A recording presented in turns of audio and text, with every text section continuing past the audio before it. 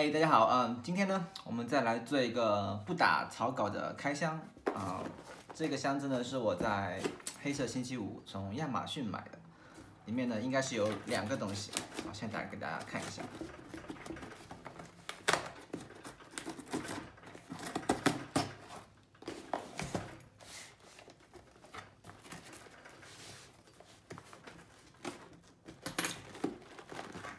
好久不开箱，我都忘了，亚马逊其实是一个在包装上很善解人意的公司，是一个很容易开的箱子。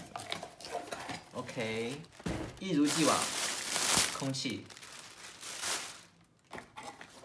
然后第一个，第一个呢，啊、是我买的三星的一个固固态硬盘，呃，这是五百 G 的，我准备把我的电脑。呃，稍微的做个小小的升级，然后还有一个就是这个，这个里面呢，应该是一个可能你们现在都已经很少有人会去想要买的一个东西，来看一下，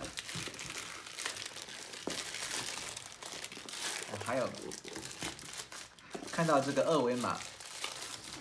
看到这个二维码，我就知道这肯定是咱国产的东西。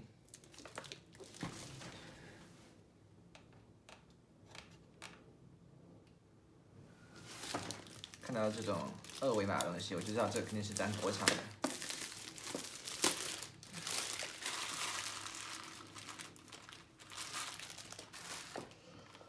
噔噔噔，就是这一个，这一个呢。是一个比较新出的一个嗯消费级的录像机，对，每天都是录像机，不是摄影机，也不是运动相机，而是一个录像机，就是那种长长的那种东西。现在呢，其实我们很平时很少会用得到这个东西，因为我们如果你要拍短的那个视频，大大部分人都是用、嗯、数码相机，是吧？或者是没有数码相机的话，手机也都能代替大部分的功能。但是呢，我因为有一点需要记录一个每每个星期都需要记录一个一个多小时的视频，所以我觉得我还是需要一个比较容易用，而且用起来不会像我用用我的那个数码相机那么心疼的那个东西来录制那个。一些视频，所以呢，我就买了这个，呃，这是一个四 K 的 camcorder，就是一个四 K 的录像机。好，我们打开箱子以后，看到里面是这个样子，里面有，啊，好好原始啊，三根线。其实我还现我现我我已经不知道这些线是什么用的，然后。Micro USB 的充电充电器，充电线，然后还有一个什么？这个在外边外边看来应该是一个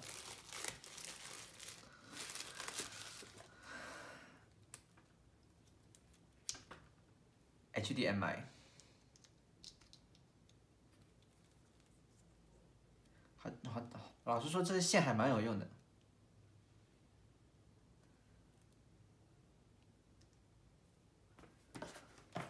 然后不用读系列，4K Video Camcorder。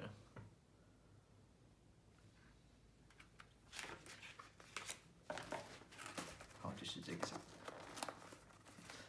这个这个其实非常的，也非常的，也不是很大。我如果我们像我像我这种不做极限运动的人，买运动相机真的合算吗？我就不怎么觉得了。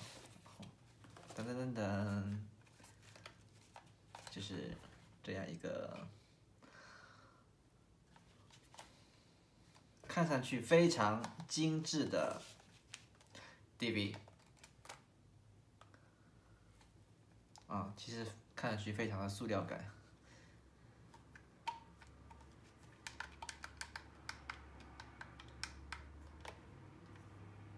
这是一块电池。让我来现看能不能开机。我不会怎么开机，我不会用。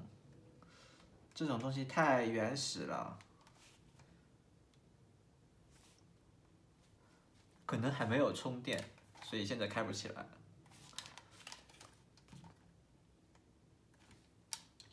等我真的把它开机，等它会用，然后会再做一个视频，告诉大家这种四 K 的摄像机跟我们的运啊运动相机跟我们的嗯数码相机，呃数码相机单反或者是单电拍出来的视频的效果会有怎样的一个不同？然后然后在价格上呢，我先可以现在可以先跟他说一下，这个这个。它原价大概是啊两百多美金吧，然后因为黑五它打折到一百四十多美金，四十几美金，所以还好，还好。所以比起啊比起 GoPro 要便宜，比起数码相机要要便宜便宜，比起当然比起那种国产的那种山狗啊什么的要贵一点点，但是。